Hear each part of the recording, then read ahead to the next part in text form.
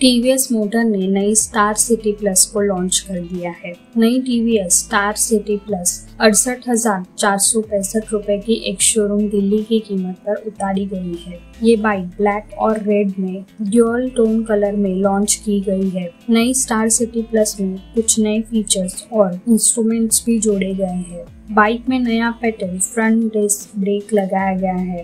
TVS ने नई Star City Plus में eco thrust fuel injection engine system दिया गया है।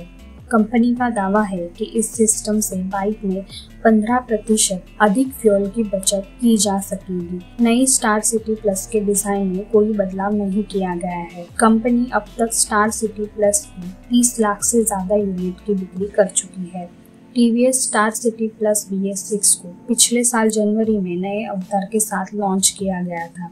नई स्टार सिटी प्लस को एलईडी हेडलाइट, बड़ा हेडलाइट काउंट, नए बॉडी ग्राफिक्स और फीचर अपडेट के साथ उतारा गया था। ये 110 सीसी की पहली बाइक है जिसमें फुल एलईडी हेडलाइट सेटअप दिया गया है। ये बाइक सिटी राइड के लिए एक परफेक्ट बाइक है। TVS Star City Plus 110 CC segment में सबसे अधिक माइलेज देने वाली बाइक है। कंपनी का, कंपनी दावा करती है कि ये बाइक पैंसठ किलोमीटर प्रति लीटर की माइलेज दे सकती है।